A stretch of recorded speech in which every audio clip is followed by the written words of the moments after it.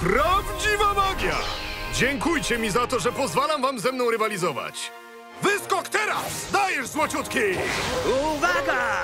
Nadchodzą dziesiąte doroczne zawody skoków z wyż Magikarpi. Jeśli macie odwagę, zgłoście się i zmierzcie z Kasu Karpiem, dziewięciokrotnym mistrzem skoków z wyż Magikarpi. Magia! Goch, naprawdę chcesz z nim rywalizować? Tak! No pewnie! I wygram te jubileuszowe zawody! Chodź, Magikarpiu! Ruszamy!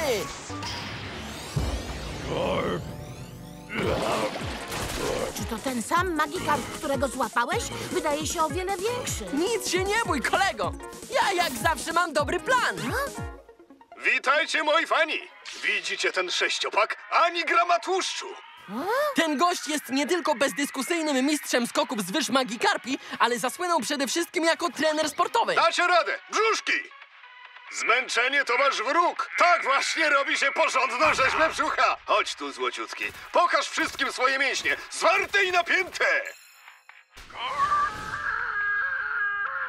Ten kasukarp jest wszechstronny! Widzisz to? Nie chcesz mieć takich mięśni jak złociutki? Nie chcesz pokonać złociutkiego? No, widzę w tobie wolę walki! Dołączymy do was i wspólnie popracujemy nad rzeźbą. Mam rację, Pikachu? Pikachu!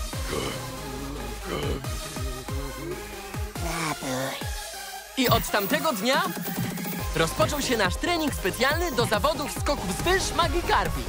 Żadnej taryfy ulgowej.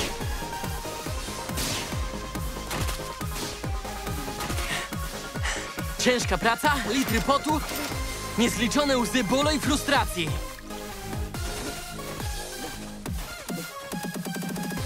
Oraz walka z największym wrogiem, brakiem samodyscypliny.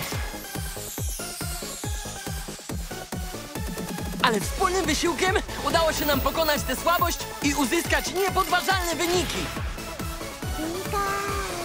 Zrobiliśmy wszystko, co się dało, prawda, Magikarpiu? Idziemy po wygraną!